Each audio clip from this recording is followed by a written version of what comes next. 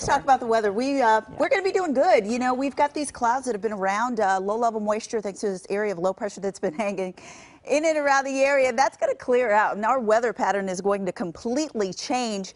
We've got temperatures that are doing good. We've got that climb happening. You can see right now at Long Beach. We've got numbers that are in the low 70s. Winds are nice and calm. That will not be an issue. Humidity at 73%.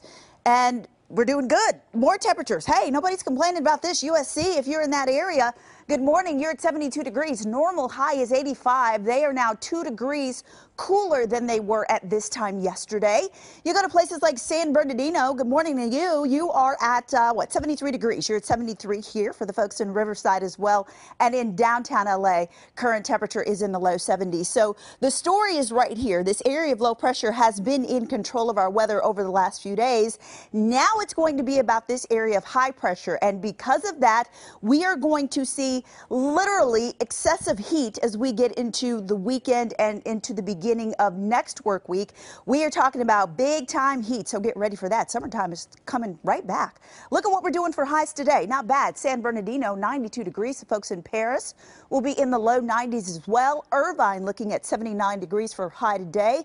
Anaheim will be in the low 80s. Northridge looking at a high of 94 degrees. So as we talk about what we're going to do here over the next several days, you can see that big jump in temperatures, mainly as we get into Saturday. For the beach communities, you're going to at least uh, see those clouds around for today and tomorrow, and then you're not going to see as many, if any, as we get into the weekend. As these temperatures start to climb here, you get to 78 degrees as we get into the weekend. LA and Orange County, 84 degrees today, but you're in the low 90s as we get into the beginning of the work week. Valley starting out in the 90s, getting into the triple digits by next week.